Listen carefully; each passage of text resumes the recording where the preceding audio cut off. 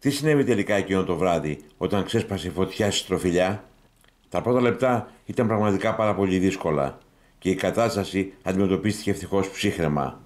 Ο συντονιστής της επιχείρησης της πυροσβεστική υπηρεσίας μίλησε με τους άντρες του.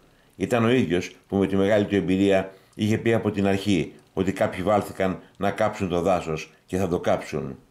Ο εφιάλτης που έζησαν δεν μπορεί να αποδοθεί εύκολα με λόγια και μόνο το δίλημα αρκεί όπως μας μεταφέρθηκε.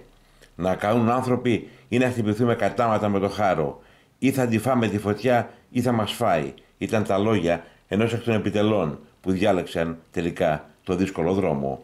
Ήταν πραγματικά ένας άθλος, επίγειες δυνάμεις, χωρίς καθαρισμένους δρόμους, χωρίς αντιπυρικές ζώνες και γενικά σε μια χρονική περίοδο χωρίς την πολιτεία έτοιμη, χωρίς μισθωμένα εναέρια μέσα, χωρίς εποχικούς πυροσβέστες και πυροφύλακες. Ξέρω όμως ότι ξεκίνησε μέσα από το δάσος. Δεν ήταν από υπολείμματα καλλιεργιών κάποια καύση και τα λοιπά να φύγει από καλλιεργίε μέκτρε και να μπει μέσα. Ξεκίνησε μέσα από το δάσος.